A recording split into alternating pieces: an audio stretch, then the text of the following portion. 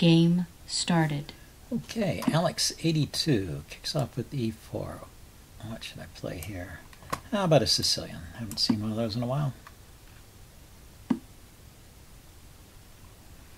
Okay, I'll go back to my classical if I get a chance. Let's see, this is not the normal Sicilian though. This is the early knight c3. He hasn't played d4 yet. He could still play d4. Let's see, because he played knight c3 voluntarily, it means I don't have to play knight f6 to force it. So I could uh, keep that option in reserve, I guess. I'm going to just break the pin here and go for um, a uh, dragon setup with the bishop fianchetto and then decide whether this go this knight might go to um, e7 as well as f6. Now he does the trade. Oh, that's interesting. Now, because he can, oh, he can't take back with the queen. He has to take back with the knight. So I still get my bishop here. I was thinking he'd take back with the queen and get on this diagonal, but uh, in which case I'd have to block with the knight. But he had to take back with the knight uh, unless he took here first because my knight was guarding that square. Okay, so we've kind of uh, transposed.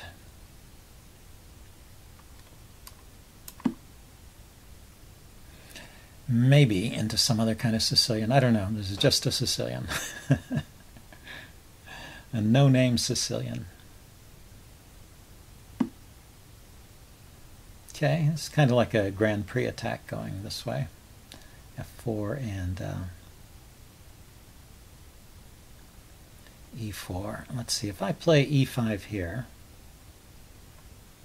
pawn takes, pawn takes, you know, it opens up this file, but it leaves them with, um, well, okay, let's, let's think a little deeper. If I go here and he takes and I take back, he's got to move his knight, probably knight back to f3, hitting the pawn. Can I defend that pawn?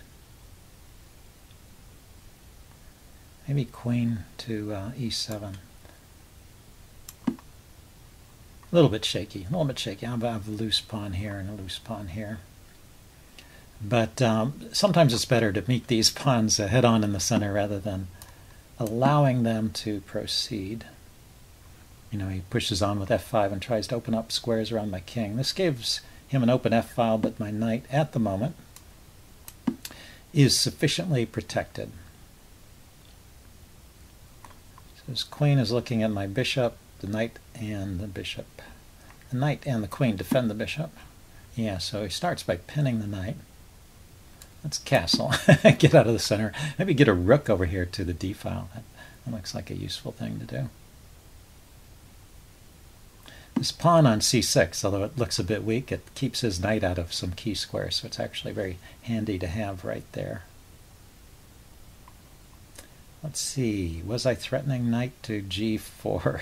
I don't know why I played that move, actually. okay, let's start with rook d8. Opposite is queen, see where the queen wants to go. I'm expecting the queen will move. Not a bad place. I always have this check here.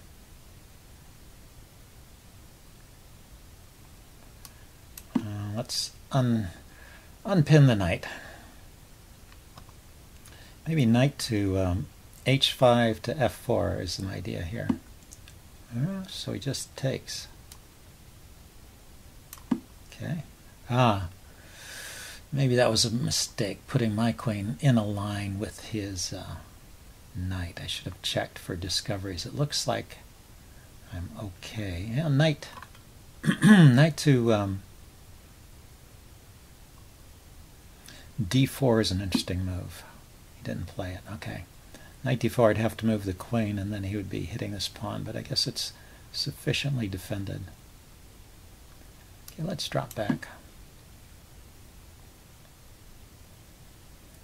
Now things are, I think, pretty secure on my king side. Still have this weak pawn here.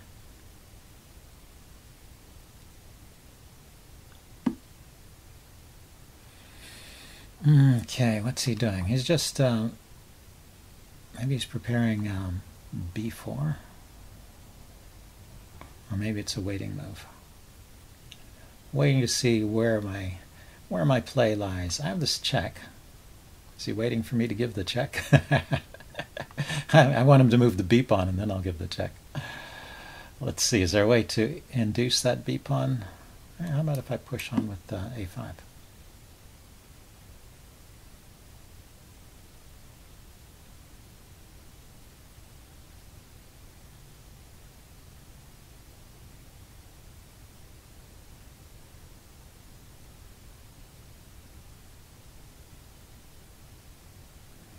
Maybe rook to uh, b8, looking at the b pawn as a way to encourage it to move. Well, Alex, Alex82, he's going to have to think here. Okay, queen there. Yeah, that stops me from playing the check. Okay, that's that's true. And it puts pressure on the c pawn. I still like this rook on the open b file. So maybe uh, when I played rook to d8. I should have used the f rook rather than the uh, rather than the a rook. Because I'm probably going to bring this rook over to d8 now. So I think uh, he needs to defend that pawn. I'm just going to take it. Or he could push it to that square, b3. Not, not a bad move. Now, maybe rook to c8 and bishop to uh, bishop to e6, hitting his queen.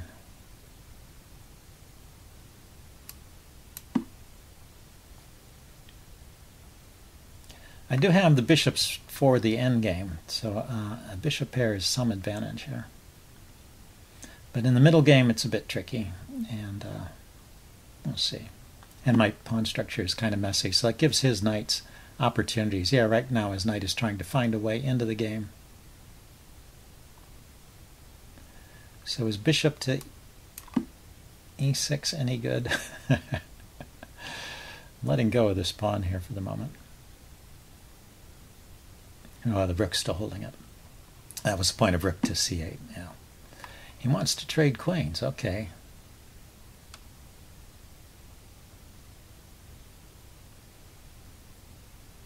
Queen takes knight to isn't just a good square for his knight is the problem. Um, I really would like to uh, play my rook to um, b4 and chase maybe maybe get some control over that um, c5 square before I trade queens. Otherwise, the queen trade is not not a bad idea for me. He can take here, and he does. Um, so I have a desperado tactic. I can play bishop takes, b3, threatening to win his knight if he takes back. Um, but he can. He also has a desperado. He can play knight here or here Then I can take his knight. He can take... Uh, I think I can play this.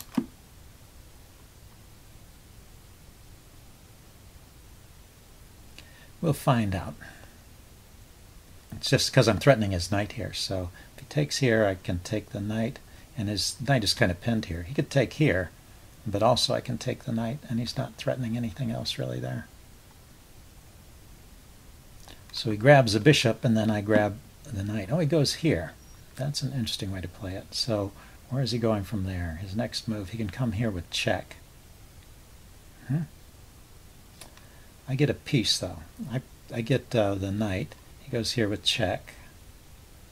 I move my king, and he takes a rook, and I take back. So it's two pieces for a rook. Um, is there another way to play it?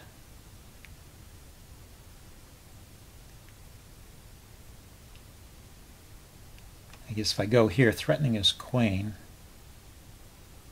queen can still come into uh, e6, so it still keeps control over this square.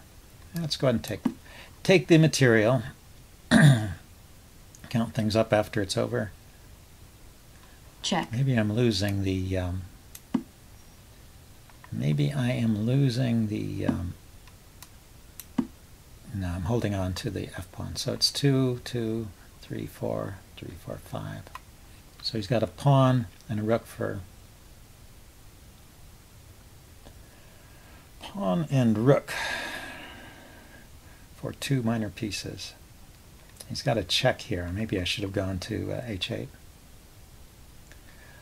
Okay, and uh, well, none of our neither side's pawns are much to look at, but I have four isolated pawns, and he has four isolated pawn groups, three isolated pawns and a, a, pair of pawns over here where his extra pawn lies. So interesting game. I, this is probably, um, I would say, probably an advantage to black. But maybe not so easy to play. Oh, he picks up another pawn immediately. How annoying. Okay, so bishop here hits his rook. And then rook here I want to I want to pick up this pawn. I don't want to uh, leave it.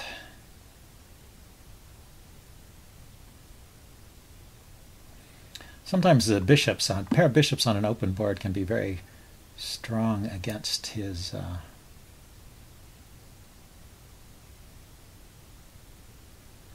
that's interesting. He he gave away a pawn. but He can play check here.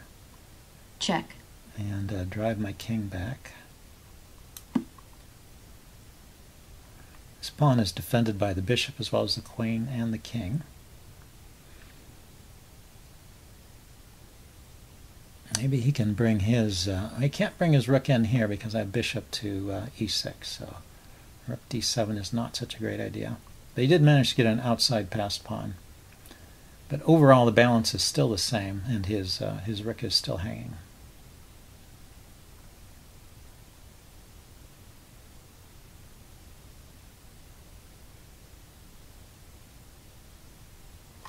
Okay, what next? Um, if you can't play rook d7, he, he probably just needs to move the f rook. I'm expecting rook f to uh, f2 or 3 or 4. This Just somewhere along this file. Rook f2. Okay, fine. I have bishop here. How about if I trade off one pair of rooks and then try and skewer his, uh, skewer his rook there?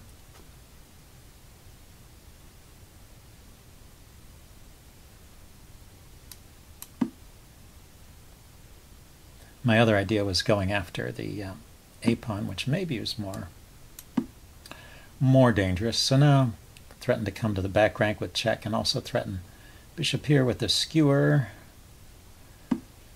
Aha, so he runs away from both of those. I've got a check here. Check. Let's go ahead and give that one. Picks up the pawn at least.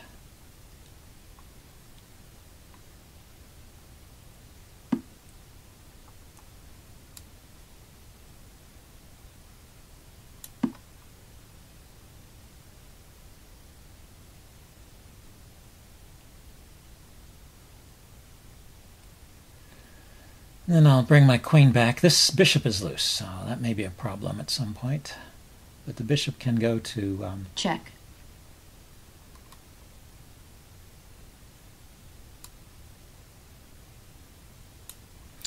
Uh, okay, he might go for a draw here. Let's see. If I go king to um, h7, he's got this check. And I really have to go back. If I play bishop to f8, am I losing? He has queen here check. you know, I may have to just put up with a draw. It's, uh, it's my king position is a little too wrecked here.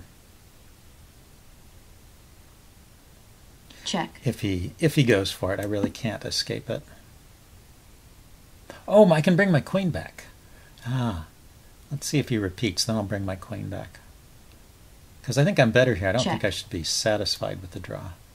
I just thought that I had only bishop back. I didn't didn't notice the queen back move. So two bishops against a rook in the endgame. Ah, he picked up a pawn. That's his idea. More. that's that's a good idea. And let's bring my loose bishop back into the game. back to a safe position. I mean, not not into the game. Hmm. So maybe queen to um, c8 here with a uh, threat on the h-pawn and a attempt to trade queens again. Yeah, my position is just a bit awkward here with the exposed king. Hard to escape all those checks. And this bishop, the dark squared bishop, is just acting like a pawn pretty much. But but it lurks. It, it always has the idea of coming out and, and harassing pieces. Okay, so he's hitting the pawn. It's getting back to defend his back rank, so I play here, what does he do? I'm still threatening the h-pawn and threatening to threatening his queen, yeah. check, So he goes for the endgame. Well, let's see if I can play this endgame. You know, maybe just even. Two rooks, I mean, two bishops against a rook and a pawn, maybe an even endgame. But I think that's one of those that should be a slight, slight edge to black here.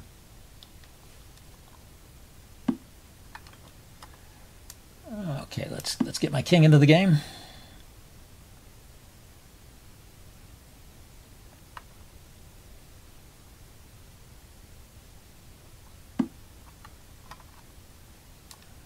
Let's uh, bring the bishop out. I was thinking maybe I should just stop his pawns at a good spot.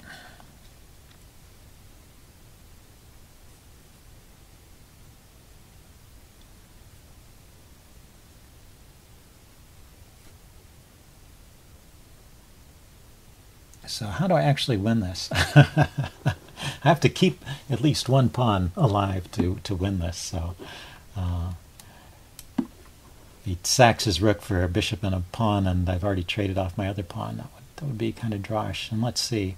This is the uh, good bishop here. I want to keep the light squared bishop because uh, this is the... If I end up with a rook pawn, then...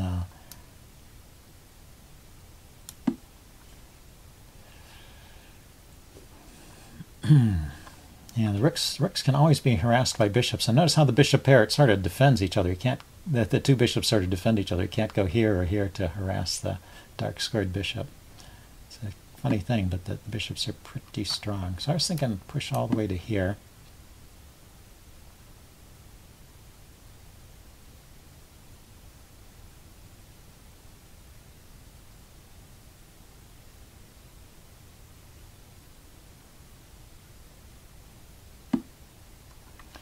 Okay, so he closes that up. Let's um, get this pawn forward. It covers this square so he can't come in and check me. And I could put my bishop here, my light squared bishop here and my dark squared bishop here, and he can never break through. But can I ever, uh, can I ever make progress is the question. Need to see if I can get my king around. Thing is, the bishops are defending all of my pawns kind of neatly. And uh, let's see if I could get uh, a king here. I could bring my bishop in with check.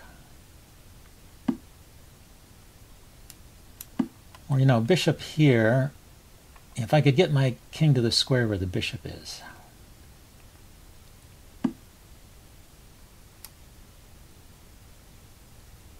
I think uh, hold on a second.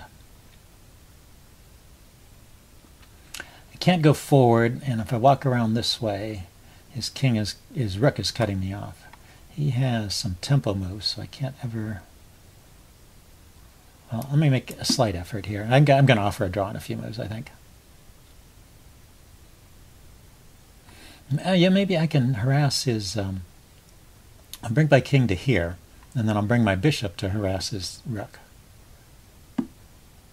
and try and escape this way.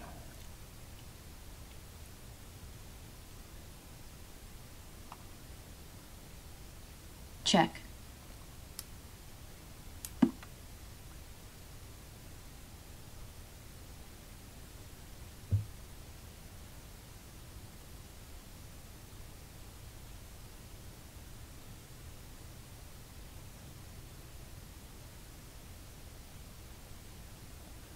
Let's see. Yeah, if he keeps my king out, I guess I don't see how I can make progress.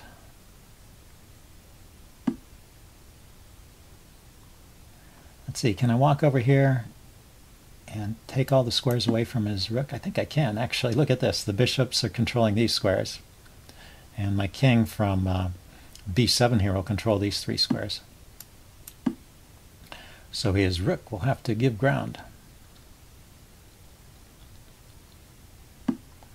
And then I can come forward again. And um, again, I can harass his rook, it looks like. So go forward again. Hopefully not losing anything. The bishop can escape back to this square.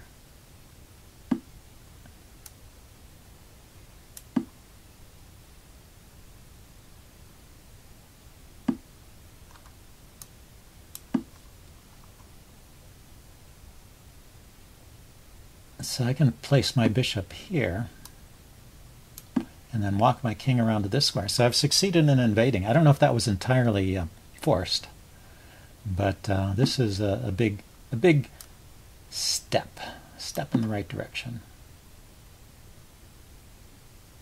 And his king, look at my bishops are preventing his king from getting into the game altogether. So uh, here, I'm winning a pawn. White forfeits on time. Okay, but I think actually I, I turned this into a winning endgame. So pretty interesting, if long game. Hope you guys enjoyed it. I'll see you again soon. Bye.